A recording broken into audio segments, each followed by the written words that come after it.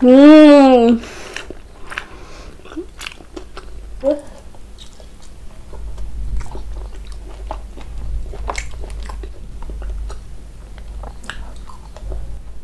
বন্ধুরা আজকে চলো তোমাদেরকে দেখাবো বাজার থেকে মাংস কিনে আনা। তো আমরা কোথা থেকে মাটন আজকে তো কচি পাঠার মাংস হবে তো কোথা থেকে কোন দোকান থেকে কীভাবে কিনতে হয় সব কিছু চলো তোমাদেরকে দেখাই।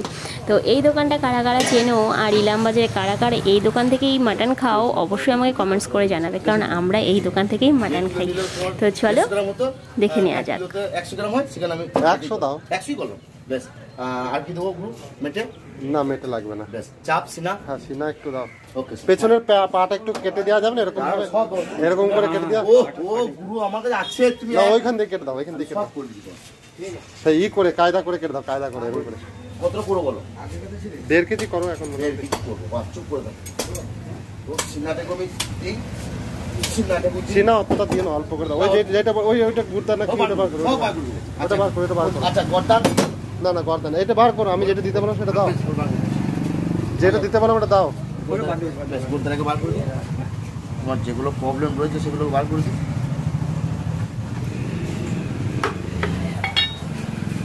বার করে দিলাম। শুধু সিনার অংশটা দিয়ে দিলাম। হ্যাঁ হ্যাঁ ওকে আর কি করব আচ্ছা খালি এটা- খাবে না? না এইটা না ওই ধারি না ওই পিছনের জ্যাংটা দাও।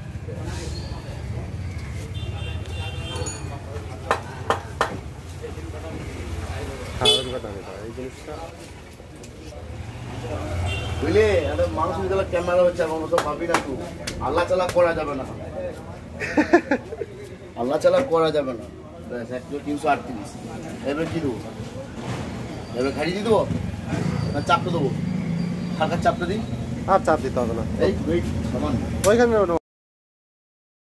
এই মাংস দেবো লাগবে না ওই ওই এক কেজি ক্যামেরা ওরা ক্যামেরা ওরা তিনশোই থাক তিনশোই থাক। ক্যামেরাটা লাগবে না, দাও। লাগবে না, লাগবে। না। তিনশোই থাক ওই ওতেই হয়ে যাবে।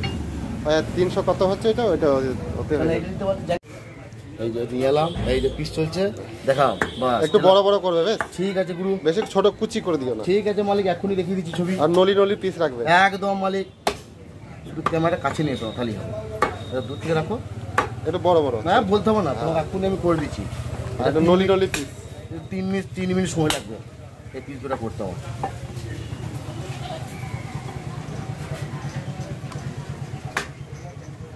ঠিক আছে? হ্যাঁ ঠিক আছে?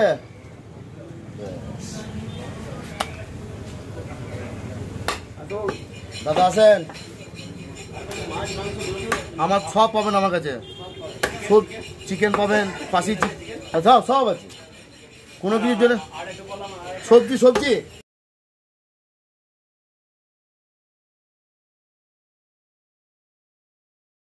ওটা একটু জন্য দমকা যেতে হবে। নলি নলি রাখবে নলি নলি। একদম গুরু তোমার বলতে হবে না। তুমি শুধু দেখো শুধু আগে আগে হতা হ্যাঁ क्या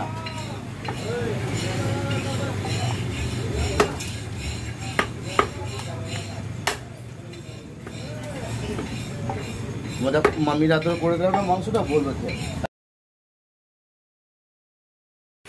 হ্যালো বন্ধুরা, আজকে আরেকটা রেসিপি নিয়ে তোমাদের সামনে হাজির হয়ে গেলাম। তোমরা আবার ভাবছ যে আবার খাসির মাংসের রেসিপি না না, এটা হচ্ছে একদম কচি পাঠার মাংস।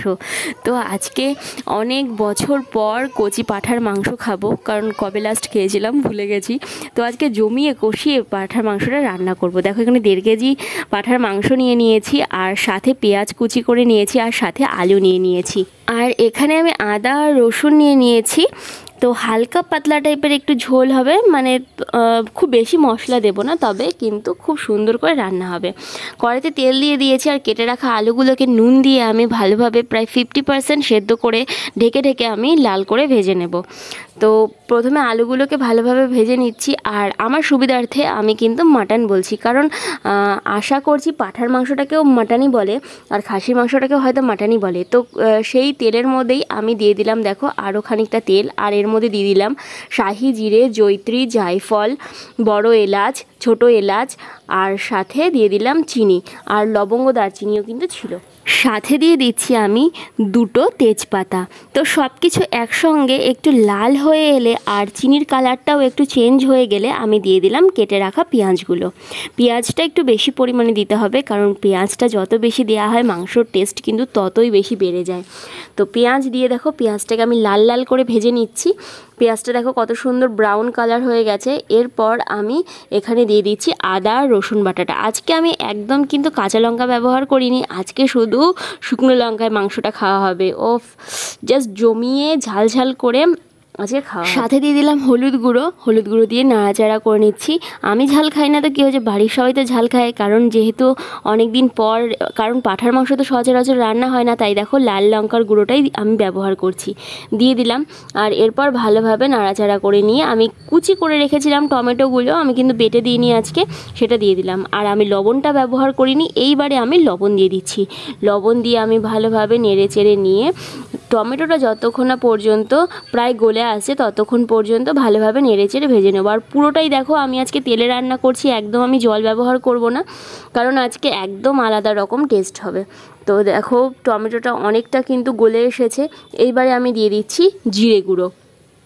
আর তার সাথে দিয়ে দিচ্ছি মিট মশলা। মিট মশলা আমি এখানে প্রায় এক প্যাকেট ব্যবহার করেছি। তো দিয়ে আমি ভালোভাবে এটাকে নেড়ে চেড়ে এবারে মশলাটা কষিয়ে নেব অনেকক্ষণ ধরে। তো মশলাটা দেখো আমার কষানো হয়ে গেছে, টমেটো, পেঁয়াজ প্রায় গলে গেছে, এবারে আমি মাংসটা দিয়ে দিলাম। আর কিন্তু মশলার কাঁচা যে গন্ধটা সেটাও চলে গেছিল। এরপর দিয়ে আমি ভালোভাবে মাটনটাকে নাড়াচাড়া করে নেব।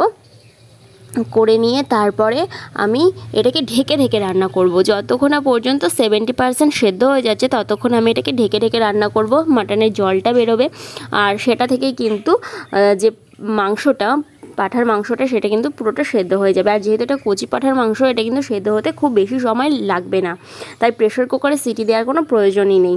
তো দেখো, এরকমভাবে ঢেকে ঢেকে কষাচ্ছি। আর দেখতেই পাচ্ছ বেশি চর্বি তেল কিছু নেই। তো এখন দেখো, প্রায় মাংসটা ফর্টি ফিফটি পার্সেন্ট রান্না হয়ে গেছে আর এতটা জলও বেরিয়ে এসেছে। এইবারে এই জলে আমি মাংসটাকে কষাতে থাকব। যতক্ষণ পর্যন্ত জলটা শুকিয়ে আসবে, ততক্ষণে কিন্তু মাংসটা আরও অনেকটা সেদ্ধ হয়ে যাবে। তো এইবারে আমি ভালোভাবে এটাকে নেড়ে চেড়ে কষিয়ে নেব। আর এখনই কিন্তু একটা খুব সুন্দর স্মেল বেরিয়ে গেছে।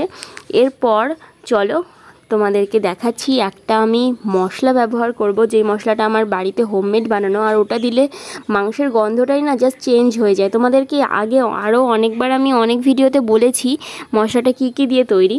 তো দেখো, মাটনটা আমি কষিয়ে নিয়েছি, আর এদিকে দেখো জলটাও শুকিয়ে এসেছে, আর মাংসটা কিন্তু আমি ভেঙে দেখলাম যে মাংসটা অনেকটা সেদ্ধ হয়ে গেছে, আর একটু সেদ্ধ করলে কিন্তু মাংসটা খাওয়া যাবে। তো আলুটা দিয়ে দিলাম, আলুটাও কিন্তু আমার পুরোপুরি সেদ্ধই হয়েছিল, শুধু ভেতরটা একটু শক্ত ছিল। তো এইবারে দিয়ে আমি একটু নাড়াচাড়া করে নিয়ে দু মিনিট মতন ঢেলে দেবো হচ্ছে জল। যতটা তোমরা ঝোল খাবে এবং যতক্ষণ তোমাদের মনে হবে যে সেদ্ধ হওয়ার প্রয়োজন, ততক্ষণের জন্য ততটা জল দেবে। তো আমি একটু বেশি পরিমাণে জল দিচ্ছি।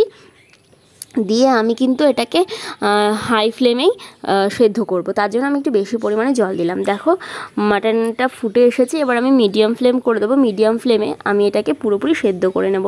দেখো মাটনের ঝোলটা টানিয়ে নিয়েছি, আর সেই স্পেশাল মশলাটা, বাড়িতে যেটা আমার বানানো থাকে, বিরিয়ানি মশলা, তো সেইটাই আমি এখানে ব্যবহার করলাম। এরপর আমাদের মাটন রেডি চলো, খেয়ে জানাই তোমাদের কেমন হয়েছে। তো বন্ধুরা আমাদের কচি পাঠার মাংস রান্না হয়ে গেছে, তো তোমরা তো দেখতেই পেলে যে কেমন জমিয়ে কষিয়ে রান্না করলাম একদম। আর আজকে অনেক দিন পর মানে পাঠার মাংস রান্না হয়েছে। তার কারণ হচ্ছে বাজারে যেহেতু সচরাচর পাওয়া যায় না, আজকে পাওয়া গেছে আরও নিয়ে চলে এসেছে। তো ভাবলাম যে আজকে জমিয়ে কষিয়ে রান্না করি আর সেটা তোমাদের সঙ্গে শেয়ার করি। তো চলো দেখি খেয়ে যে কেমন হয়েছে। তো চলো দেখি মাটনটা কেমন খেতে লাগছে। তো প্রথমে একটু ঝোল থেকেই শুরু করব। তেল দেখো জাস্ট আজকে যখন মশলাটা কষিয়েছিলাম, তখন তো তোমরা দেখলেই যে একটু জল ব্যবহার করিনি। একদম পুরো তেলের ওপর কষিয়েছি, কারণ আজকে যেহেতু মানে পাঠার মাংস খুব বেশি একটা আনা হয় না, তাই ভাবলাম যে আজকে একদম একটু অন্য রকম ভাবে রান্না করি। তো চলো একটু ঝোল নিয়ে নিই প্রথমে। দেখো। ঝোল তো না, শুধু তেল। হুম।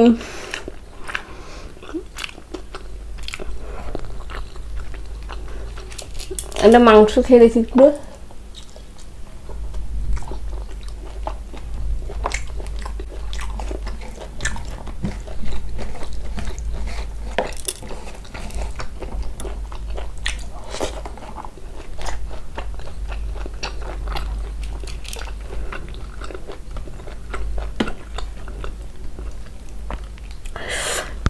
সাথে একটু আলু একটু ঝোল নিই।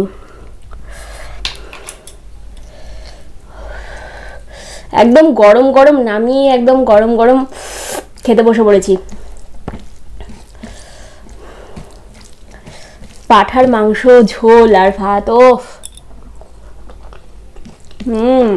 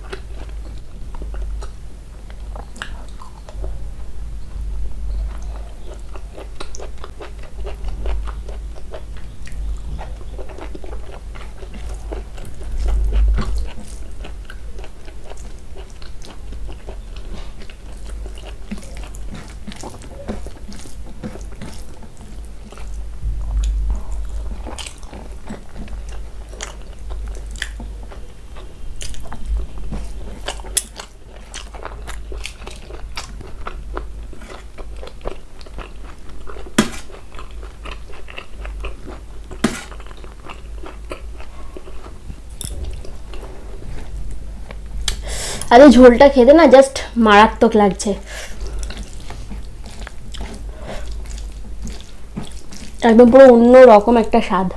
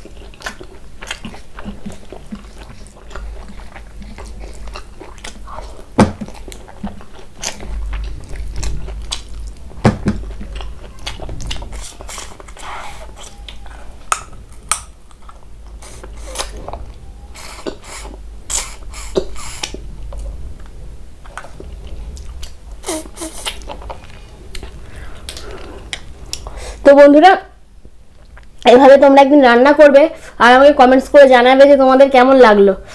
আমাদের জাস্ট ফাটাফাটি লেগেছে। তাহলে চলো আজকে ভিডিওটা এখানেই শেষ করছি। আবার দেখা হবে খুব শিগগিরই আরেকটা ভিডিও নিয়ে। টাটা!